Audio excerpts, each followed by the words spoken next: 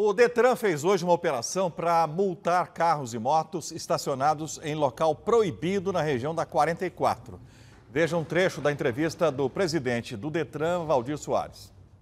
Começamos a operação por um local que realmente conhecido por mais de 30 anos por um grande caos, que foi a Cidade Jardim, famoso Canaã. Hoje você pode andar lá, as calçadas são livres para pedestres, para deficientes, para crianças.